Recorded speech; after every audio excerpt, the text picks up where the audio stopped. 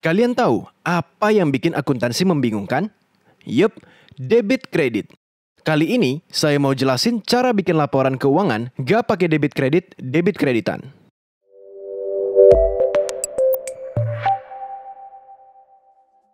Hey guys, welcome back di channel Facultive.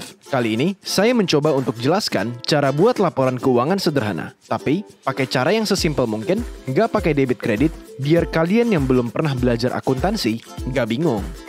Untuk jelasin ini, saya mau pakai cerita guys. Ada dua orang sahabat, namanya si Andi dan si Budi. Mereka temenan dari kecil. Si Andi ini ingin coba jadi youtuber buat cari uang tambahan. Berhubung gak ada modal, si Andi mau pinjam uang sama si Budi 5 juta buat beli video kamera. Si Budi penasaran juga, berapa sih keuntungan jadi YouTuber? Akhirnya, dia punya ide. Budi setuju buat pinjemin uang, dengan syarat tiap bulan Andi harus bikin laporan dan dikasih ke dia. Deal tuh mereka. Si Andi ini nggak pernah belajar akuntansi, jadi dia bikin laporan pakai cara dia. Pokoknya, semua transaksi dia tulis dulu, Nanti baru dipikirin gimana cara laporinnya. Waktu terima uang dari si Budi, Andi langsung bikin note kalau dia terima uang 5 juta. Biar nggak lupa, dia tulis juga ada utang Budi 5 juta. Nggak pakai lama, Andi langsung beli video kamera hari itu juga. Dia catat lagi, keluar uang 5 juta buat dapat kamera 5 juta. Nah, si Andi ini langsung pakai kameranya buat bikin konten tips-tips berlibur di pantai. Pergilah dia ke pantai buat ambil beberapa klip video. Sesudah kekumpul videonya, dia edit videonya di rumah. Dan beberapa hari kemudian, videonya langsung diposting dan dipasang iklan. Gak disangka-sangka, videonya langsung viral dan dapat banyak viewer. Dalam waktu setengah bulan, Andi dapat penghasilan 2 juta. Andi langsung tulis lagi kalau dia terima uang 2 juta. Biar nggak lupa, ini terima uang 2 juta dari mana, dan bisa jawab kalau sewaktu-waktu Bu ditanya, udah dapat berapa dari YouTube? Maka Andi tulis juga penghasilan 2 juta. Singkat cerita, di akhir bulan, viewer Andi bertambah dua kali lipat. Dan dia dapat 4 juta dari YouTube. Dia langsung catat lagi kalau terima uang 4 juta. Dan penghasilannya nambah 4 juta. Nah, sekarang udah akhir bulan nih. Ini waktunya Andi buat laporan untuk Budi. Andi buka lagi catatannya dan ditampilkan kurang lebih kayak gini. Andi mikir, pusing juga lihat laporan kayak gini. Hmm, oke. Okay. Mungkin langkah pertama gue kasih istilah, sama sederhanain kata-katanya dulu aja. Terima uang atau keluar uang, gue sebut kas. Tandanya aja ntar dibedain, pakai plus minus. Beli atau jual barang juga sama. Tulis nama barangnya aja deh.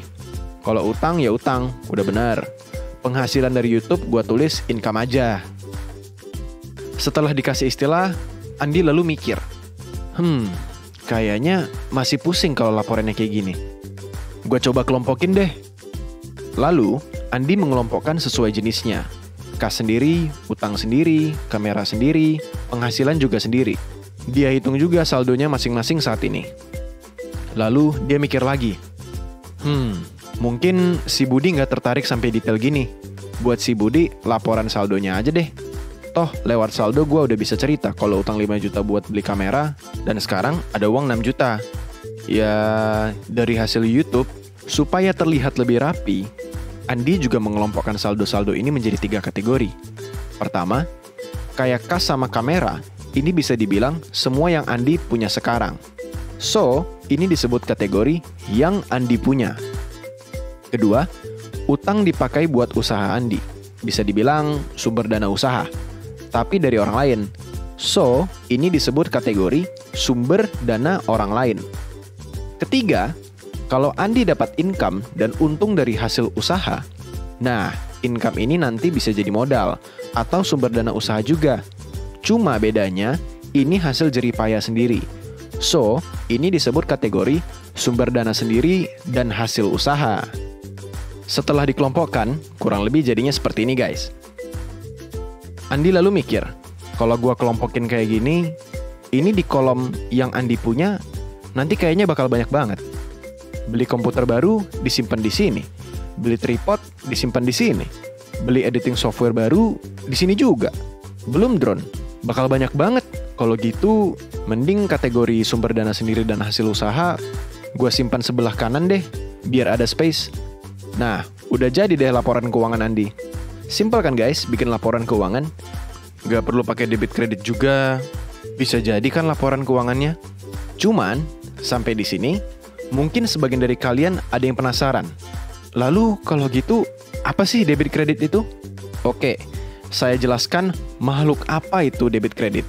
Coba kalian perhatikan laporan Andi ini guys.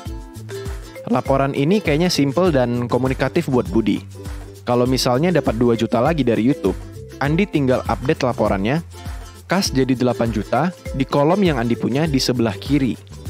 Income jadi 8 juta di kolom sumber dana sendiri dan hasil usaha di sebelah kanan. Kalau dapat 3 juta lagi misalnya, tinggal update lagi laporannya.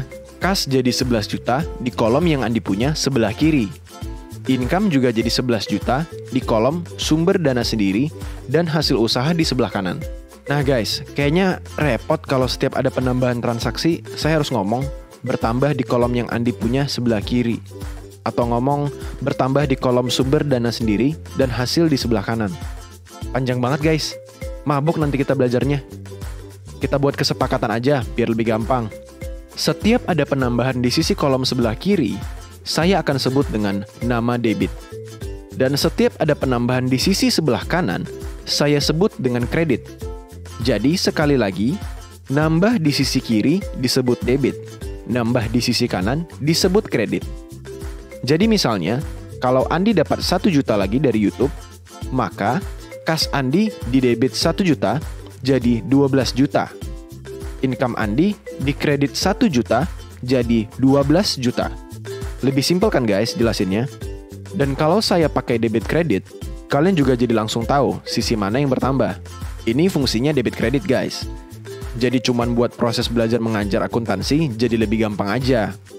Jadi, kalau kalian lihat jurnal ada item A di debit sekian, item B di kredit sekian, itu dia cuman cerita guys.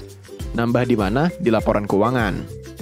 Cuma ceritanya dalam bentuk tulisan yang terstruktur aja. Sesimpel itu guys. Jadi jangan dihafal satu persatu jurnal debit kreditnya ya guys. Nah sekarang kalau kalian perhatikan bentuk laporan Andi ini cukup familiar kan guys? Yup, betul. Kalau kalian pernah lihat laporan keuangan, kategori yang Andi punya ini disebut dengan aset. Kategori sumber dana orang lain ini disebut dengan liability. Dan kategori sumber dana sendiri dan hasil ini disebut dengan equity. Ini adalah salah satu jenis laporan keuangan yang dikenal dengan nama neraca atau istilah kerennya disebut balance sheet.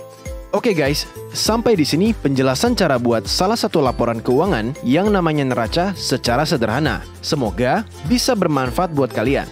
Ada bentuk-bentuk laporan keuangan lainnya, kayak misalnya income statement atau cash flow statement. Nah guys, apa bedanya? Kenapa bentuknya kayak gitu? Kenapa harus dipisah dari neraca laporannya?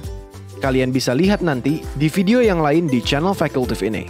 So, pastikan kalian klik tombol like dan subscribe di bawah untuk terus mendapatkan konten menarik seputar akuntansi dari saya. Kalian juga bisa gabung di social media Fakultif yang ada di deskripsi di bawah.